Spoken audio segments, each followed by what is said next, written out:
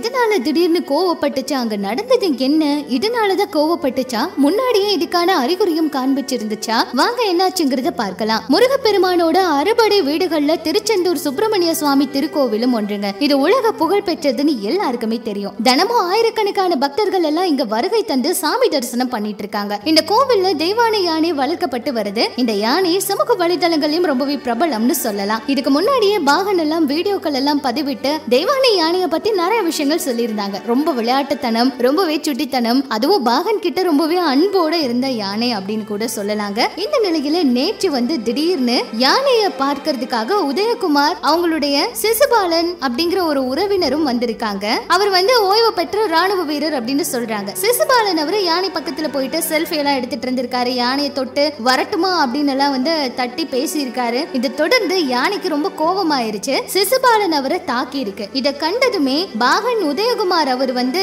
உடனே தடுக்க போயிருக்காரு. தடுக்க போனதுமே அவர் யாருன்னே தெரியாம யானை வந்து பாகனையும் மிதிச்சிருச்சு. தும்பிக்கையால வந்து தாக்கிருச்சு. இதனால பரிதாபமா ரெண்டு பேருமே உயிரிழந்துட்டாங்க. யானை மிதித்து ரெண்டு பேர் இறந்ததுனால திருச்செந்தூர் கோவில் நடை வந்து நாற்பத்தி ஐந்து நிமிஷம் வந்து சாத்தப்பட்டு இருந்துச்சு அதுக்கப்புறமா சாந்தி நிவர்த்தி பூஜைகள் எல்லாம் பண்ணிருக்காங்க பக்தர்களுக்கு மறுபடியும் தரிசனம் எல்லாம் வந்து கொடுத்திருக்காங்க. யானை மீது தண்ணீரை பீச்சு எடுத்து அதை வந்து சாந்தப்படுத்தி இருக்காங்க தொடர்ந்து வனத்துறை அதிகாரி அதிகாரிகள் அங்க வந்து யானைக்கு மருத்துவ பரிசோதனை எல்லாம் மேற்கொண்டிருக்காங்க. பெண் யானை தெய்வானிக்கு மதம் பிடிக்க வாய்ப்பே இல்ல அப்படின்னு சொல்லியும் கோவில்ல மூணு நாள் தங்கி யானைக்கு சிகிச்சை எல்லாம் கொடுக்க இருக்கிறதாகவும் சொல்லியிருந்தாங்க. அது மட்டும் இல்லாம தெய்வானையுடன் பாகனோட உறவினர் சிசுபாலன் அவரு நீண்ட நேரம் செல்ஃபி எடுத்து விட்டு யானைய தொட்டு தொட்டு அங்க அடிச்சும் பேசியிருக்காரு. புதுசா ஒருத்தர் வந்து தன்னை தொடுறது பிடிக்காததுனாலதான் யானைக்கு ரொம்ப கோவம் வந்துருச்சு. அதனாலதான் தும்பிக்கையால தாக்கி இருக்கு அவரை காப்பாற்ற வந்த பாகனையும் யாருன்னு அடையாளம் தெரியாம அது வந்து தாக்கியிருக்கு. அதுக்கப்புறம் அது தன்னோட பாகன்னு உணர்ந்ததுமே அவரை எழுப்ப நிறையவே முயற்சி பண்ணியிருக்கு. அவரை எழுந்திருக்காததுனால